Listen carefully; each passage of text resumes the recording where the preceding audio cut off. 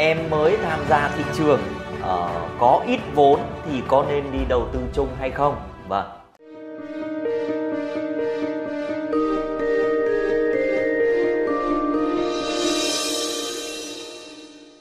Đó là một cái câu hỏi mà một trong số những nhà đầu tư đã gửi đến tôi và tôi xin phép hỗ trợ trả lời cho bạn như sau.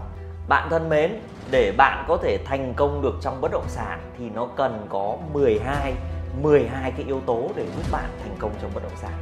Thì cái yếu tố số 1 đó chính là đội nhóm và cố vấn. Yếu tố số 2 đó là bạn phải rất am hiểu về vĩ mô. Yếu tố thứ ba đó là phải biết nghiên cứu thị trường. Yếu tố thứ tư là phải am hiểu và giỏi về các trường phái yếu tố thứ năm đó là hiểu về pháp lý yếu tố thứ sáu là biết cách xây dựng chiến lược yếu tố thứ bảy là am hiểu các chiến lược tài chính yếu tố thứ 8 là gì ạ?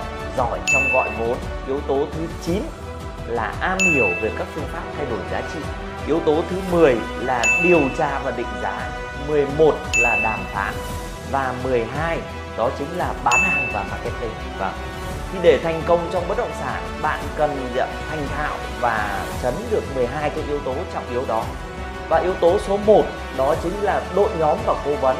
Nó chính là cái trục của cái bánh xe thành công đó và nếu như bạn muốn thành công, thì đội nhóm và cố vấn là yếu tố hàng đầu bạn cần phải có.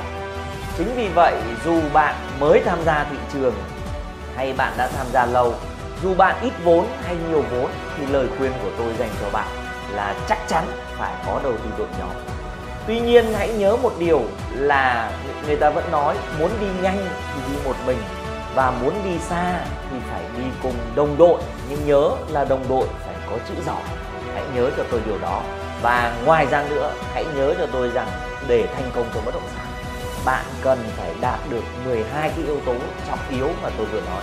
Người ta gọi nó là cái bánh xe đầu tư thành công với cái trục của bánh xe là đội nhóm và cố gắng Nhấn like, chia sẻ,